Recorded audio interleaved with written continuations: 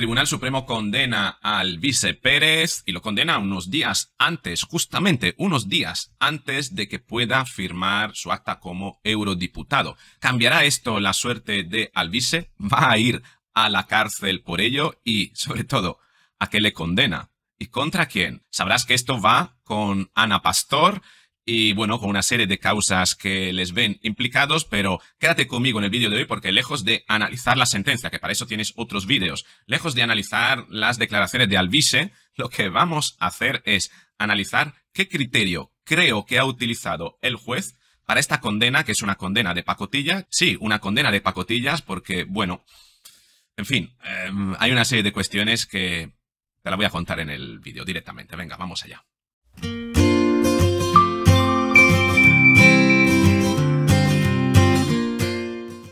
Sí, así es. Imagino que sabrás esto de la pelea que tiene mm, implicado a Alvise Pérez y Ana Pastor. Son varias causas que les relacionan. La primera la ganó Alvise Pérez. Eh, condenando el juez Ana Pastor a pagar una, creo, una cuota de unos 25.000 euros por las costas, ojo, por lo que yo he podido entender, solo es por las costas de un juicio y que tampoco está claro que sean 25.000 euros, según las últimas noticias. Hay un vídeo de Pablo Franco, abogado, que te pondré en el primer, fijado, en el primer comentario para que puedas ver cómo se ha llegado a calcular, cómo se ha llegado a calcular esos 25.000 euros, porque Alvise dice que son 25.000 euros, pero si es por algo que no se lo ha pagado Ana Pastor, tiene que ser porque parece ser que todo está todavía pendiente de confirmar por parte de una administración. En fin, lo verás todo en el vídeo de, Pablo Franco. Y por otro lado, Ana Pastor y su marido Javier Ferreras denunciaron al vice Pérez por haber realizado, al vice, haber publicado, mejor dicho, al vice, una serie de fotos, eh, de ellos, concretamente tres fotos, que eh, consideran que eh, están publicadas contra su consentimiento, sin su consentimiento y además en un acto, digamos, de intimidad que no tiene nada que ver con su actividad como em, público, ¿no? Como personajes públicos, ¿no? Concretamente, los dos, el matrimonio, estaba comiendo con el director general, el presidente, el máximo mandatario de la organización Open Arms, o mejor dicho, con quien Alvise dice que comieron. Porque, bueno, tampoco en lo que publica Neutral como en la sentencia está claro y definida quién es esa persona con la que el matrimonio Ferreras Pastor estaba comiendo. Así que como no me quiero yo pillar los dedos, vamos a ver qué es lo que pone directamente Alvise Pérez en un estado en su Instagram. Dice, el Supremo me obliga a presentar el recurso al Tribunal Constitucional porque considera por primera vez en la historia ilegal publicar una foto de tres personas públicas en un espacio público. ¿Qué público? Si es un restaurante, no es público. Esas personas eran Ana Pastor Ferreras y el dueño de Open Arms planificando el relato de la importación masiva de ilegales a España. Claro, esa es una conclusión que extrae Alvise Pérez. En la primera de las imágenes aparecía la periodista junto con su pareja en un restaurante. Para el Supremo, que el marido de la demandante sea también un periodista muy conocido y por tanto pueda ser considerado como un personaje público, no supone que la reunión de la demandante y su marido sea por sí un hecho de interés general. Lo llama intimidad familiar. Dice también Alvise, es absurdo que un juez afirma que es de carácter eminentemente particular o privado que Ana Pastor y García Ferrera se reúnan en un espacio público con el dueño de Open Arms en plena crisis migratoria para pactar un relato mediático en defensa de la inmigración ilegal masiva. Entiendo yo que lo que aquí no está clara es la conjetura que extrae Alvise acerca de la finalidad de esa reunión.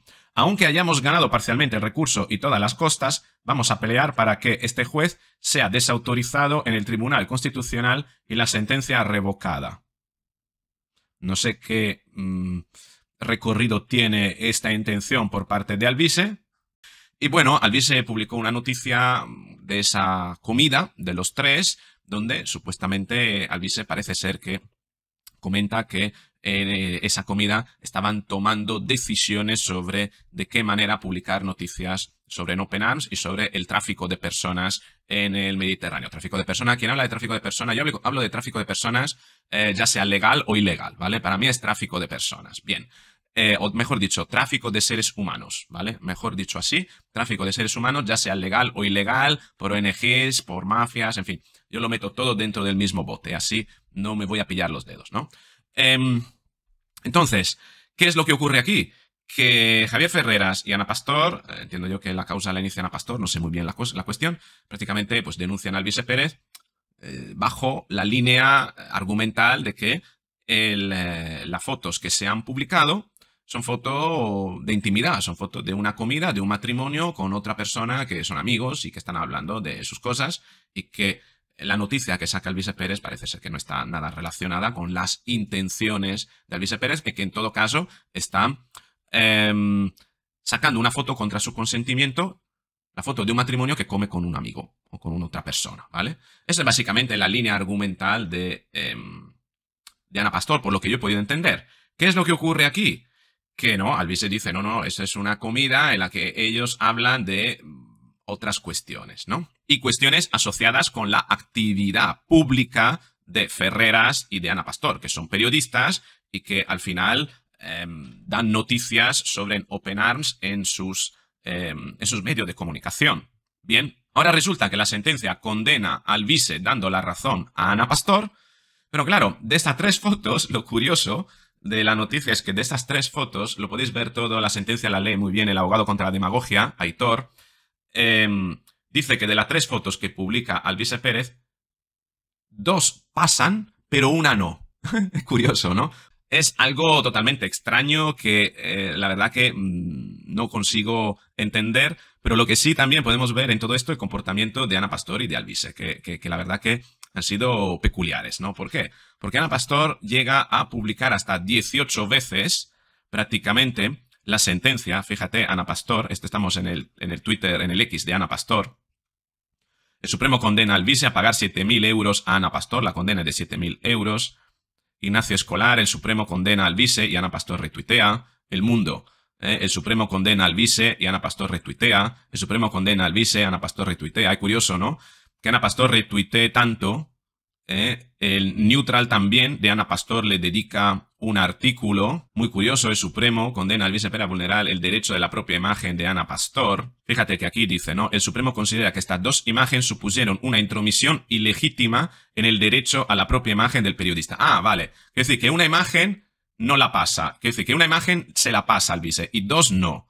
En concreto, se trata de la foto publicada en las cuentas de redes sociales del eurodiputado electo Alvise Pérez a los, días 10 y 14 de octubre de 2020, en la que el demandante aparece en compañía, la demandante aparece en compañía de su marido, la primera, y de dos personas de identidad desconocida, la segunda de ellas. El alto tribunal resuelve así en favor de Ana Pastor el recurso presentado por Alvise Pérez después de que la Audiencia Provincial de Madrid ya hubiese considerado esa intromisión en su derecho a la imagen en varias fotografías. En su argumentación, el Supremo recoge que la publicación de estas dos fotografías no se encuentra justificada por el legítimo ejercicio de la libertad de información, ya que carecen de interés informativo, independientemente de si la periodista o su pareja son considerados personajes públicos. Dice la sentencia que considerar el encuentro de una persona y su pareja en un restaurante como de interés general supondría en la práctica la privación de sus derechos a la intimidad familiar y a la propia imagen. Además, señala la ausencia de argumentos en el recurso presentado por Alvise que justifiquen de alguna forma la legitimidad de la publicación de dos fotografías, ¿no? Es curioso esto, ¿no? Que el Tribunal Supremo una fotografía se la pasa al vice, dice que vale, esa no, no vulnera la intimidad del matrimonio, pero sí que las otras dos la vulneran, ¿no? ¿Por qué dos sí y una no? Realmente no está recogido en la sentencia y yo vi ayer el análisis que hacía eh, Aitor, un abogado contra la demagogia, y no queda muy claro el motivo por qué dos sí, dos vulneran y una no vulnera, ¿no? Entonces, yo he llegado a la conclusión de que posiblemente el Supremo, el juez del Supremo, tiene que haber, la sala del Supremo tiene que haber considerado un, criterio parecido al que considera Hacienda con el uso privativo de bienes que se destinan también a actividad eh, profesional. ¿no? ¿A qué me refiero? Sí, me refiero a que, en el fondo, Ferreras y Ana Pastor no son un matrimonio cualquiera. Además de ser matrimonio, son sociedad, entiendo yo, o tienen negocios en común, razón por la cual va a ser difícil separar todo lo que ellos hacen del uso privativo o uso profesional. Un poquito como pasa cuando un abogado, un psicólogo, ciertos profesionales que se les da la posibilidad de utilizar su propia vivienda para uso profesional, tienen que declarar qué porcentaje de esa vivienda y de ese bien le dedican al uso eh, profesional. Me refiero que si tú tienes una vivienda de 100 metros cuadrados y eres abogado o eres psicólogo y le dedicas, eh, le destinas al uso profesional un, eh, un 30% de la superficie de esa vivienda, entonces solo podrás desgrabarte eh, los costes de la vivienda, agua, luz, gas, limpieza, mantenimiento, que se dedican proporcionalmente a la actividad profesional. El resto está considerado como actividad privativa, por tanto no lo considera Hacienda que puedes desgrabarte todos los gastos al 100%. Se le dedica un 30% de la superficie de tu vivienda a actividad profesional, entonces podrás grabarte proporcionalmente solo un 30% de los gastos de esta vivienda. Yo creo que el juez tiene que haber utilizado un, criterio parecido, es decir, de las tres fotos, como no son un matrimonio cualquiera, sino que además son sociedad o son socios o tienen negocios en común, puede ser que el tiempo de las reuniones que tengan con ciertos cargos eh, de ciertas instituciones Em, proporcionalmente puede implicar tanto cuestiones privativas si se conocen y son amigos como cuestiones profesionales. Es difícil separar eso. Posiblemente, no sé si el juez ha llegado a esa conclusión. Es decir, mira, un 30%, eh, en este caso un 33,3 periódico, eh, puede estar destinado a uso profesional. Por tanto, le pasamos una de las tres fotos al vice como que, em, bueno, se puede considerar personaje público en un porcentaje eh, o se puede considerar que parte de esa reunión estuviera dedicada a actividades eh, profesionales y públicas, por tanto, no estaría yendo en contra de la intimidad, pero que sí, el resto de la comida, bueno, puede que haya sido una comida entre amigos y entonces sí que puede haber vulnerado la intimidad. Intuyo, no sé, estoy tratando psicológicamente de interpretar por qué la sala del Supremo pasa una foto al vice, se la concede, pero las otras dos dice que, que no, son eh, vulneración de la intimidad. Es es curioso todo esto, al igual que es curioso el comportamiento de eh, tanto de Ana Pastor como el de Alvise. ¿Por qué? Porque Ana Pastor retuitea hasta 18 veces esta, esta noticia. Em, la verdad que eh, resulta bastante curioso, hecho por Ana Pastor, retuitear tantas veces esta noticia. Sobre todo porque no hizo lo mismo cuando Alvise le ganó otra causa que condenó a Ana Pastor a pagarle 25.000 euros que dice Alvise que todavía le debe. No sé si es porque Ana Pastor ha recurrido esto y todavía no se lo ha pagado o eh, qué es lo que va a pasar. Alvise en su cuenta de Instagram dijo que no pasa nada, que haya perdido estos 7.000 euros. Eh, simplemente se lo descuenta de lo que le debe Ana Pastor, que le sigue debiendo 18.000 euros, ¿no? Es, eh, es curioso todo esto, al igual que me llama la atención el comportamiento de Alvise, porque lo tengo aquí en el móvil, en mi, en mi Telegram, Em, también él ha incrementado ayer el número de envíos de eh, información relacionado con esta noticia, eh, utilizando un sistema dialéctico más centrado en parte en el victimismo, en parte en limpiar su imagen, en parte en poner en duda la... Em, ¿Cómo se dice? La, la decisión del juez, o por lo menos ironizar sobre ella, ¿no? Que dice, el juez del Supremo condenó al vicepera a considerar la reunión de Ferreras, Pastor y el dueño de Open Arms como comida familiar al constatar que los dos primeros están casados, ¿no? Em, y luego un audio de Javier Cárdenas, un vídeo de un abogado contra la demagogia también, tratando un poquito él de limpiarse su propia imagen. Yo creo que no lo necesita, Alvise, no, no tiene que caer en este error de centrar tanto la información en su persona, porque puede llegar a, dar tantas em, justificaciones, ¿no? O a centrar tanto la atención hacia sí mismo, la sensación de eh, cierto egocentrismo, ¿no? Y creo que Alvise Pérez hace un buen trabajo cuando se fija en los demás, ¿no? Em, creo que él no necesita eh, disculparse de nada ante la gente que le, eh, le sigue y que simplemente en la medida en la que sigue haciendo su trabajo, bueno, las cosas hablarán, ¿no? Pero sí es cierto que es curioso también que esta sentencia viene unos días antes de que Alvise eh, firme el acta como eurodiputado, primero, Y segundo, que por primera vez los jueces inician a mm, dictar sentencia en contra de Alvise ahora que Alvise inicia a ser no solamente incómodo, sino además una opción política, ¿no? Es, es curioso, ¿no? Luego hablan de lawfare y de justicia politizada en España. En fin, más aún si consideramos que ante el surgir de Alvise, los dos partidos más votados en España han querido blindarse repartiéndose el Consejo Superior del Poder Judicial. Em, en fin, y luego dicen que la, justicia no quieren que sea politizada. Parece que todo lo contrario, ¿no? Sí, digo por primera vez porque Alvise dice que es la primera vez que pierde un juicio. Fíjate, primera vez en mi vida que pierdo un juicio en firme por demostrar con foto una reunión pastora Ferrer, Pastor Ferreras con Openars. Veamos qué dice el Constitucional al respecto. Bueno, esto puedes ir al vídeo de Aitor, un abogado contra la demagogia. Pero ¿es de verdad la primera vez que Alvise pierde un juicio? Pues según el diario.es, dice que no. Aquí lo tenemos. El Supremo condena a Alvise a pagar 7.000 euros, Ana Pastor por publicar una foto, tal. Y luego dice, Archivo, segunda condena para él, lo llama el agitador, tremendo, ¿eh? ultra además. Alvise por hostigar a Ana Pastor. Debe indemnizarla con 10.000 euros. No sé si la condena por hostigamiento. ¿eh? Em, debe indemnizarla por 10.000 euros. Em, fíjate que eh, por lo que dice el diario.es hay una condena previa, ¿no? Y hay muchos más juicios según el diario.es. Pero claro, te estoy leyendo el diario es. ¿eh? Hay que tenerlo en cuenta, pero quiero que lo veas según cómo lo tratan, lo retratan de otra, en, otros, en otros medios. Dice, las múltiples condenas de Alvise. Los bulos que Luis Alvise Pérez lleva años publicando en su canal de Telegram se han traducido en varias causas judiciales contra él, tanto por la vía civil como por la vía penal. Su futuro sillón de eurodiputado implicará su aforamiento ante el Tribunal Supremo, pero solo en lo que tiene que ver con las, al menos, dos causas penales en las que está imputado una para difundir una falsa prueba PCR de Salvador Illa y otra por difundir grabaciones de la Operación Kitchen. Pero sus causas civiles más numerosas y con varias condenas económicas de por medio no se ven afectadas por sus resultados electorales.